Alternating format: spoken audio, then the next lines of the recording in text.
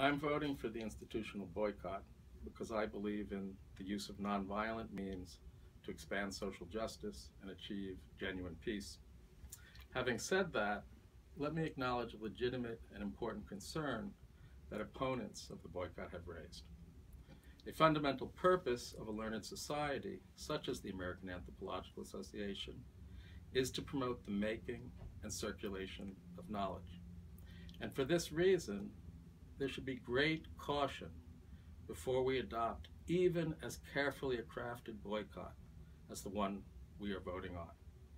But having said that, the association's mission, section one of the association's mission, says that the circulation of knowledge should be done for the purpose of solving human problems.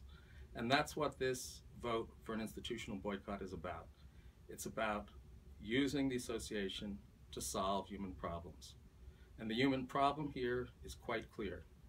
It is the perduring, state-sponsored, and university-supported abuse of the human rights of our Palestinian sisters and brothers. And because of that, I am supporting the institutional boycott.